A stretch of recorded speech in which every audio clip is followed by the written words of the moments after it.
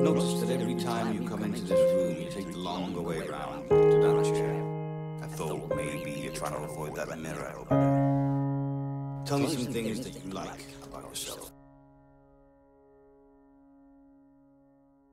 I can't think of anything. Hardly anyone likes looking in a mirror.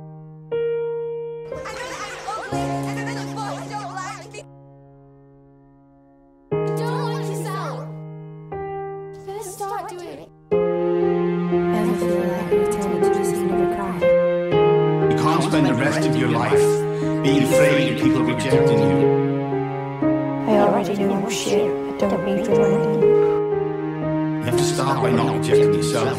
I just hate myself. You don't deserve it.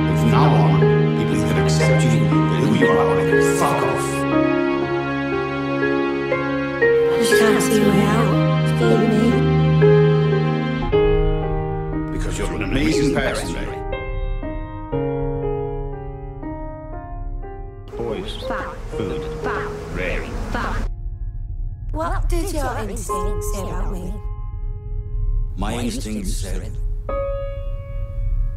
that you see yourself as a fragile thing. Like a little broken bird sloshing around a bottle.